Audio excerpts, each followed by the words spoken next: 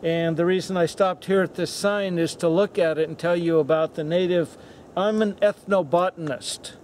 What an ethnobotanist is, is it talks about the, the relationship between people and plants.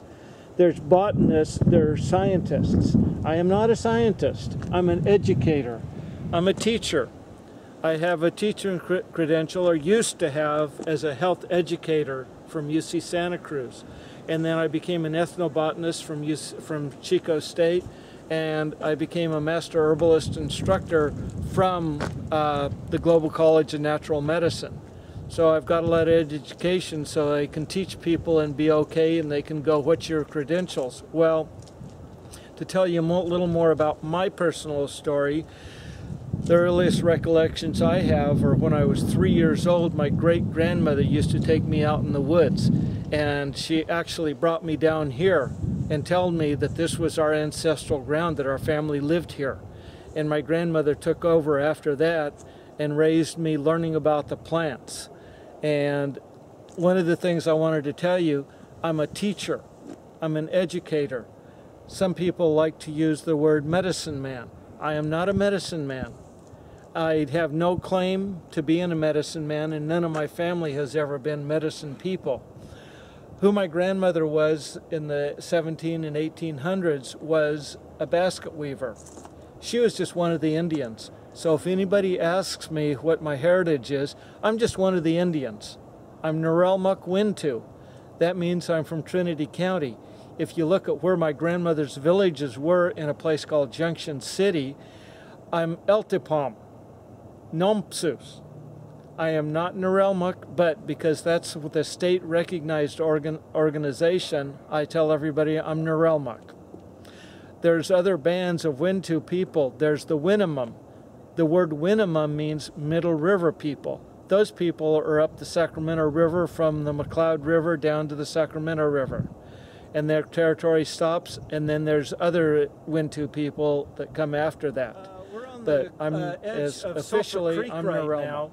And over here, there were thousands of people living on this uh, site where we are now. And this ground has always been flat. It's a floodplain.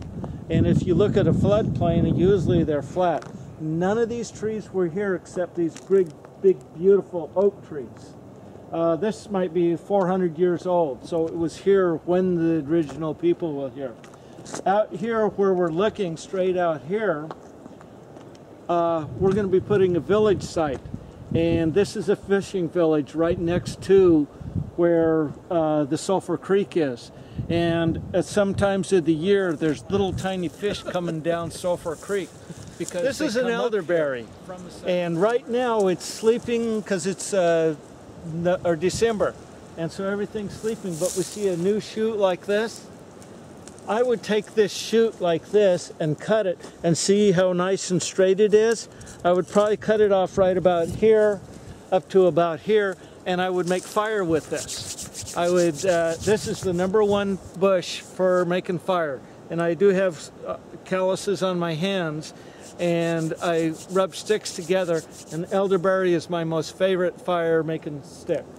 And you see how nice and straight this is. Uh, these old ones, they're probably rotten inside and I wouldn't want to use those. So I cut them green, let them dry, and then use them. Another thing that you use the elderberry for is you get fat ones like this and you can get them when they're dead or alive. It doesn't matter. Once they're dried out, you make a clapper stick, which is a musical instrument. And it's a stick maybe a foot and a half long and the front part of it, like you would split it all the way down here so that you could use it and then you would use the handhold here and you would clap with it. And that's our number one musical instrument for all of the Wintu people. Another thing that you do with this is uh, in the spring, this will have these beautiful white flowers. And uh, you can see the leaves of this and it will be wonderful for making a tea out of for colds and for uh, helping your respiratory system. Uh, or you can wait until the berries turn purple and make a wonderful uh, uh, syrup or jelly or ferment it. This is the number one plant that we would ferment to make uh, a beverage out of, I'll call it. okay, But we have elderberries are horehound here. fantastic plant. Have you ever had horehound candy? Uh, a lot of times when I bring the kids out, I'll let them taste this, and once I let them taste horehound can horehound leaves, they don't want to mess with any other leaves because it's really nasty tasting. if you mix it with honey and make a syrup out of this, it's supposed to be good for the throat. But even with a little bit of honey, I don't care for horehound.